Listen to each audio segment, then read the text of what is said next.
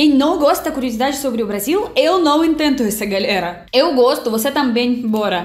Oi, gente, tudo bom com vocês? Meu nome é Olga e sou russinha que estuda português. E de fato, um dos meus passatempos preferidos é procurar na internet algo mais curioso, às vezes estranho, às vezes engraçado, às vezes doido, sobre o Brasil. E hoje temos 27 fatos de cada estado brasileiro. Quando no vídeo vai aparecer o seu estado, você começa a gritar e falar nos comentários se é verdade, se não é verdade, eles todos são mentirosos. Ou outras curiosidades. Pode ser tem alguma coisa até melhor que a gente não conhece. Ensina todos nós, por favor. Vivemos e aprendemos.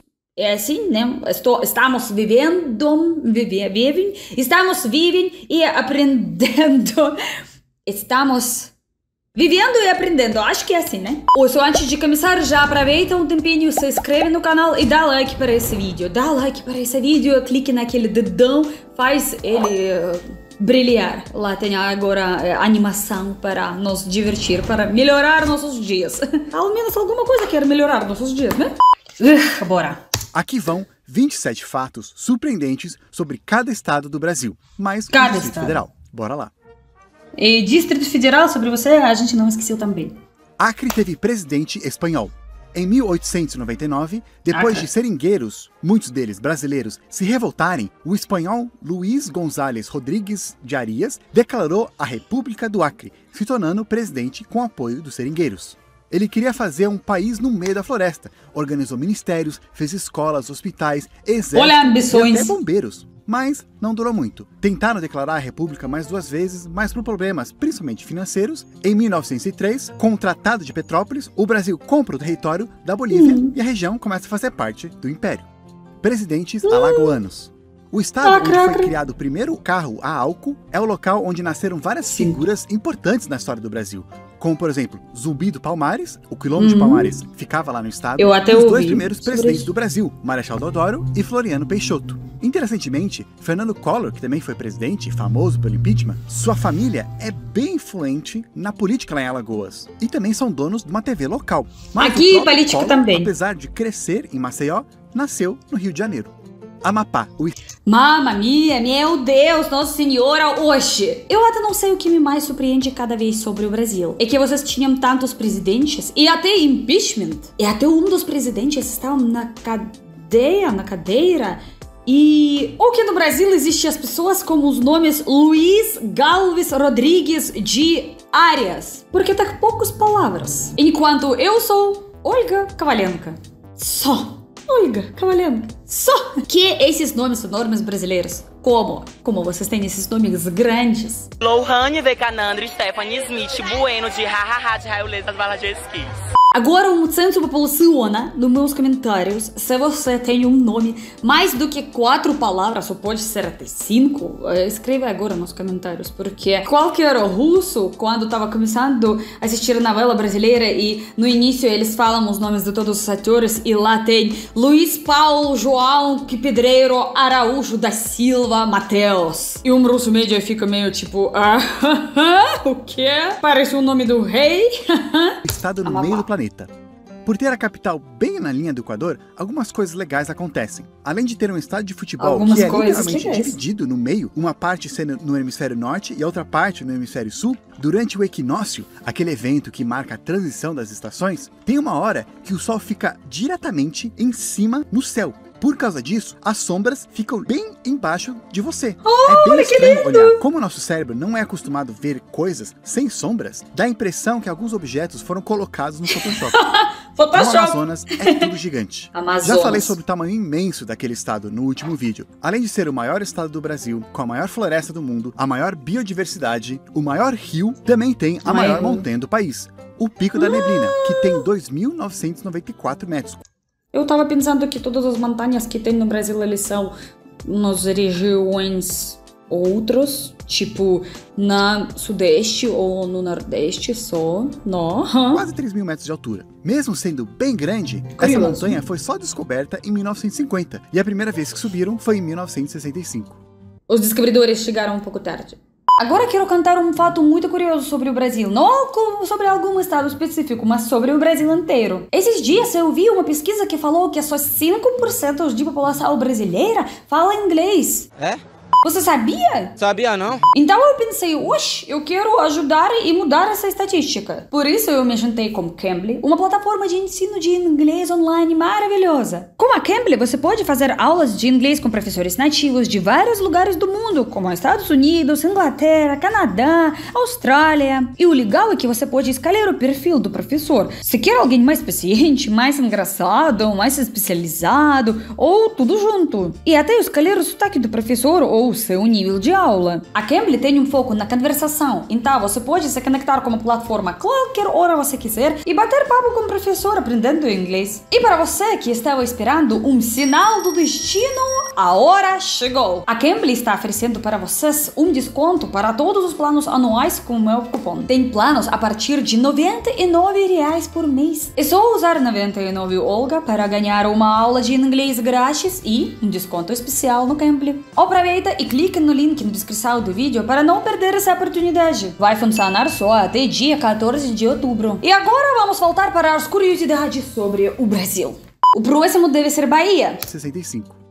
Bahia em guerra. Bahia. A primeira capital do Brasil, uma das 10 cidades mais antigas Salvador. do país, além de 7 de setembro, eles também comemoram a independência da Bahia no dia 2 de julho. Como também falei no outro vídeo, os portugueses que viviam em Salvador não aceitaram a independência do Brasil. Então houve uma guerra que terminou nesse dia. Aliás, fato bônus, quem nasce em Salvador é soteropolitano. Soter Desculpa, o quê?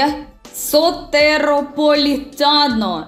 Caramba! E eu tô chamando todo mundo baiano. Agora quero encontrar um soteropolitano e falar para ele. Como que tá a vida, soteropolitano? Nossa, parece trava-língua russa. Soteropolitano, soteropolitano, soteropolitano, soteropolitano, soteropolitano.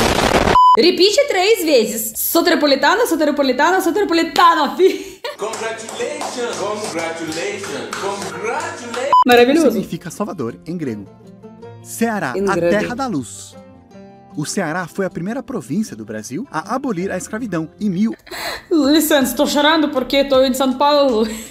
E já duas semanas a chuva não tá acabando e ela não. Tô pensando no Nordeste. Tá tudo bem, tudo bem. 884, depois de muita luta. Chuva quatro anos passar. antes da Lei Áurea. Por isso é conhecido também como a Terra da Luz. Mas também Oh. aconteceu algumas tragédias lá. Em 1877, Hum. por causa de uma grande seca na região, muitas pessoas morreram de fome. E piorou quando houve uma pandemia de varíola. Em 10 de dezembro de 1878, foi marcado como o. Dia dos Mil Mortos. Quase metade da população de Fortaleza Oh. morreu nesses anos. Distrito Federal não é estado nem município. O Distrito Federal não tem prefeitura, nem prefeito, nem vereadores. Pois é, Distrito Federal é uma coisa muito especial, né? Meio que uma mistura de município e estado. Quem manda lá é um governador e os deputados distritais, cargos semelhantes ao governador e deputados Distritais. estaduais dos outros estados. Mas eles também têm funções de prefeitos e vereadores. Lá em Brasília, tem o maior parque da América Latina, no meio da cidade, que é até maior que o Central Park de Nova York. Como que E chama? perto dali, na Praça dos Três Poderes, tem a gigantesca bandeira do Brasil, de 286 metros, sendo a maior bandeira do mundo. Brasil tem tudo maior do mundo, né? Por alguma razão, eu recentemente encontro várias zoeirinhas sobre o Distrito Federal, que você não é Estado, você não é isso, vocês esses, vocês são esses, vocês são diferentes, vocês são especiais. Se alguém do Distrito Federal está assistindo esse vídeo agora, me fala, eu estou realmente curiosa. Vocês se sentem mais especiais ou vocês não gostam de todas essas piadas e vocês não querem isso, para com essa zoeira. O Brasil, o resto do Brasil, por favor.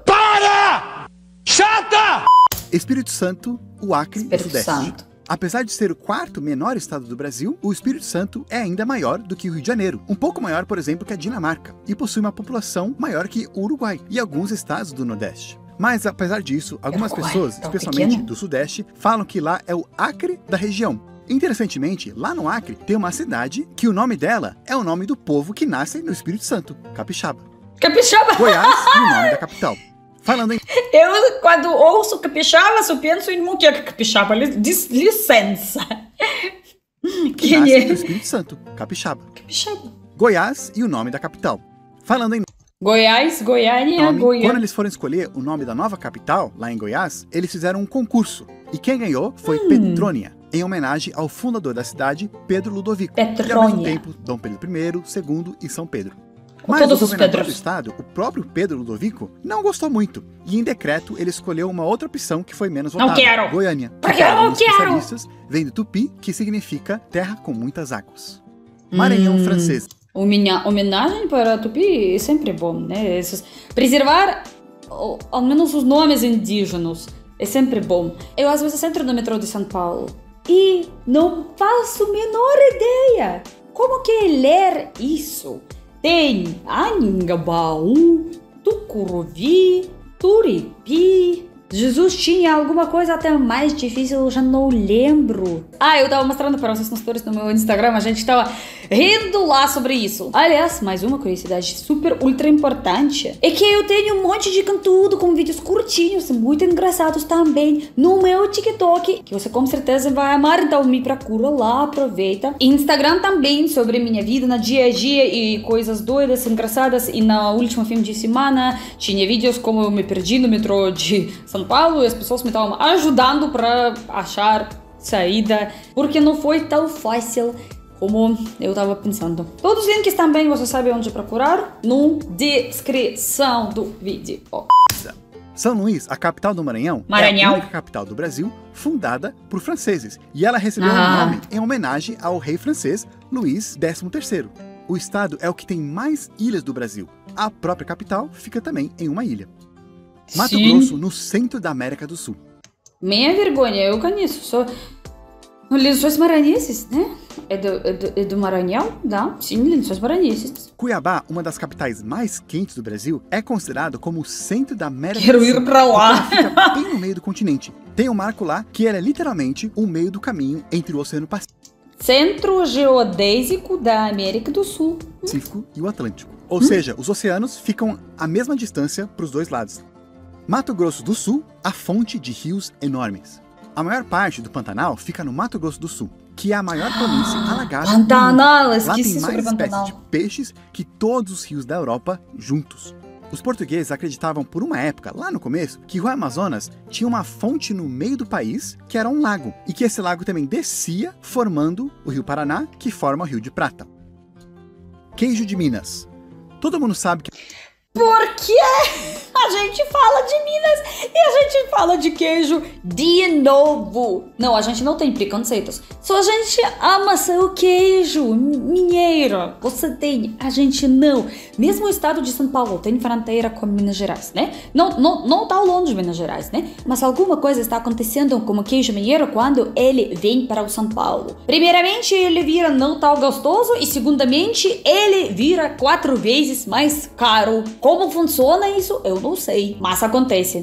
que a culinária de Minas é bem famosa, principalmente o queijo. O estado é o berço do catupiry. Criado em 1911 por um casal de imigrantes italianos, o nome ficou tão conhecido que virou sinônimo de qualquer requeijão bem cremoso. A palavra vem do tupi, que significa muito bom. Município gigante do Pará.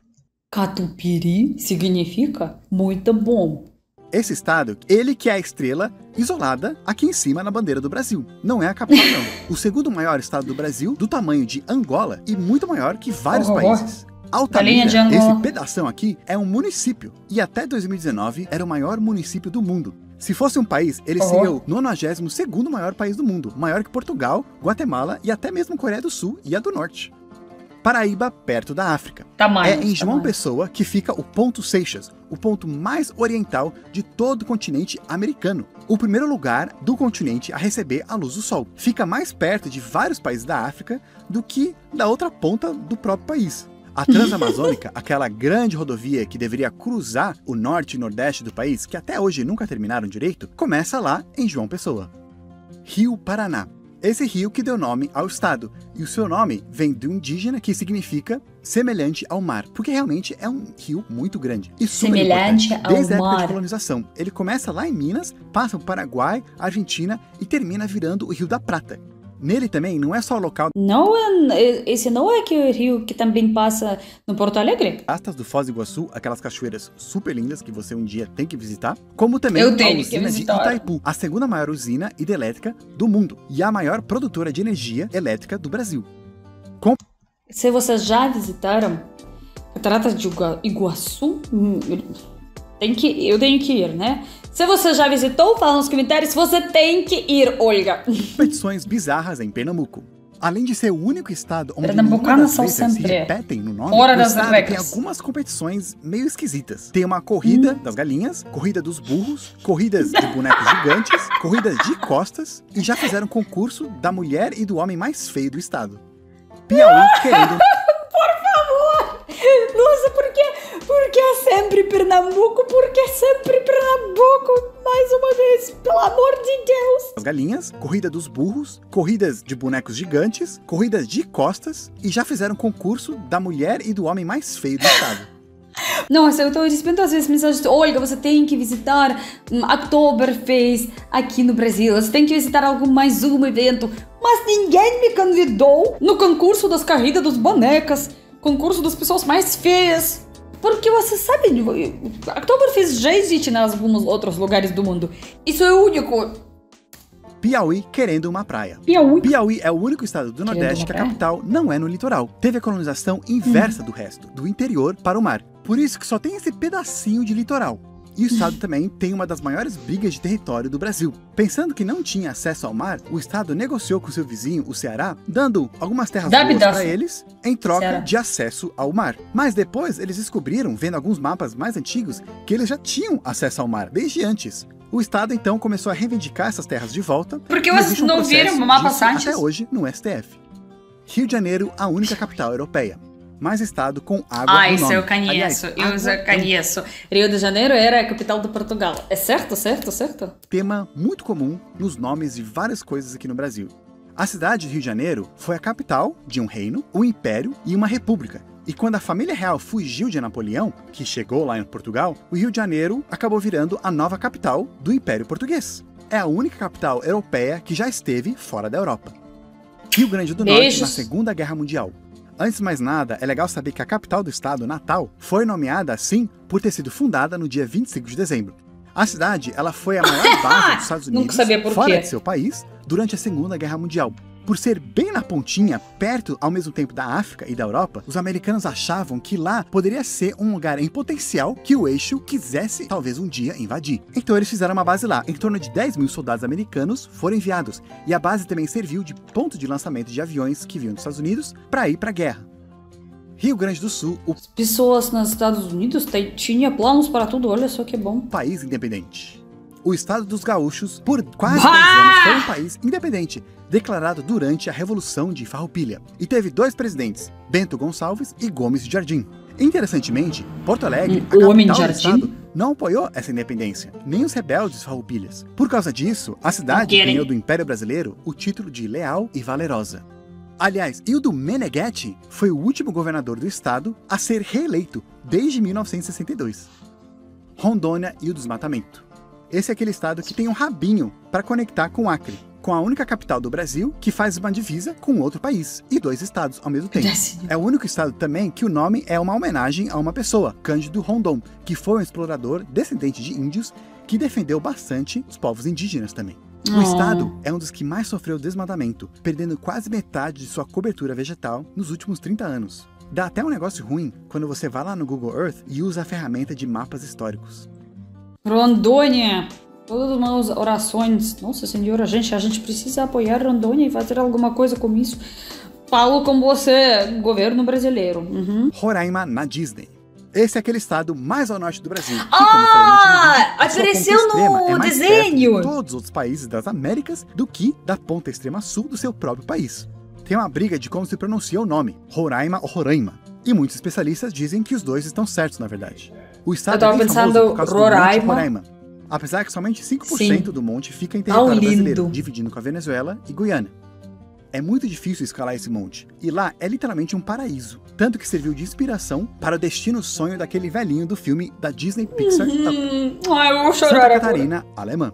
Esse é um dos estados com maior influência da Ai, claro.